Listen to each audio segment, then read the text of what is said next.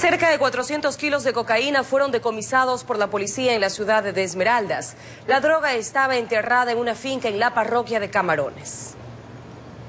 Agentes de la Unidad de Investigaciones Antinarcóticos ubicaron una finca donde luego de las acciones de inteligencia lograron evidenciar que presuntamente servía como centro de acopio de droga que llegaba desde Colombia.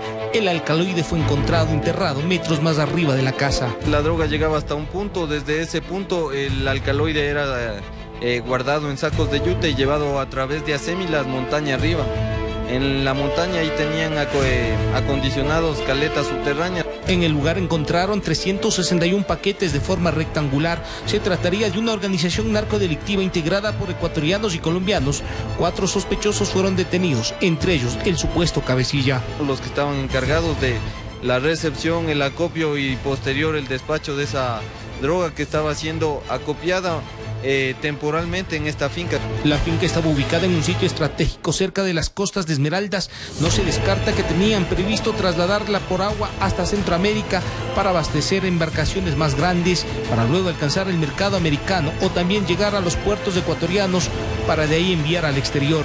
Una vez de que estaba ya totalmente embalada la droga, se procedía también a reclutar a estas personas que tienen estas lanchas para que puedan realizar el viaje a Centroamérica.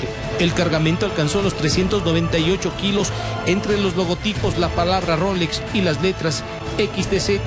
Dos vehículos fueron incautados, entre ellos un camión que contaba con una caleta, de ahí que presumen que el alcaloide ingresaba por tierra se puede determinar que la droga venía desde el vecino país del norte. No descartamos que también haya estado llegando droga peruana a ese sector. Eh. A corte de noviembre se ha logrado el decomiso de 77 toneladas de droga, 65 destinadas para el tráfico internacional y 12 para microtráfico.